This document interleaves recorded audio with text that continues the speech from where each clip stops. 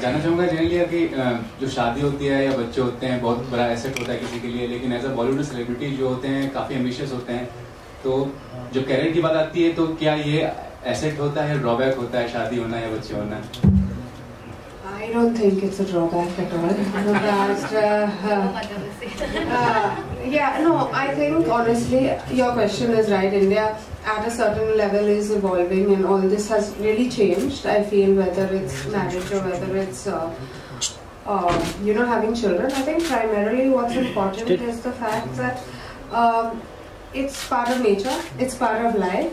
And I think the more we accept it, we get better films because we get better films with different ages. We get, uh, like, today I feel I'm more experienced than, you know, much more experienced than what I was at 20 or 22. So I feel I'll be a better actor the later I am than what I was earlier because there's so many more emotions that you've come across, there's so many more things. And that's the reason why in the West, Hello. it's they're all married, they all have children there. So I'm sure that it is evolving. I can see it evolving. You can see a lot of mothers, be it Yeah, Aishwarya Rai. Bachchan, be it Konkona Sen, whoever is coming back and doing work.